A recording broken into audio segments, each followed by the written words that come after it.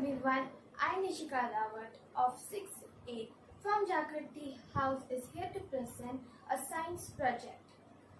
Highway Wind Turbine. As we all know, today there is a great need of finding alternative source of energy to meet the high demand. My project today is about generating energy from driving vehicles. If you ever stand on a roadside and when a car drives past you, you feel a gust of air. How about converting this to energy? The turbine is placed on the median of a highway. So when vehicles drive past it, the gust of air moves the blade, making the rotor to turn.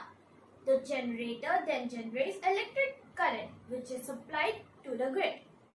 The turbine uses the existing infrastructure of street lights, hence making them easy to install and cost effective. With average daily energy generation of 5.8 kilowatt hour, it is another step to create a world you run on sustainable energy.